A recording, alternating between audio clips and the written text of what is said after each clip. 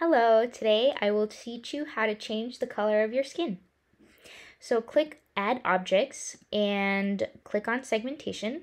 This will cut you out from the background, but what we want to do is change your skin color, not be cut out from the background. So turn click on this to turn off the background. If you click on portrait segmentation texture, you can see down here that it's selecting my face, my body, right? So if you go back to portrait segmentation and change the colors, look, now I'm Hulk. You can change the color of your body and your skin, and you can play around with the different blending modes. Look, now it looks like I'm radioactive and glowing. You can also mess with the opacity to see how much of the skin is glowing and changing colors.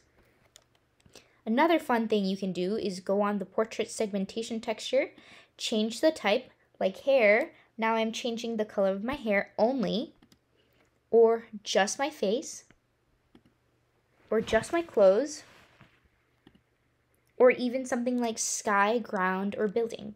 I will do another tutorial on that later. So I hope you found this informational. Have a great day.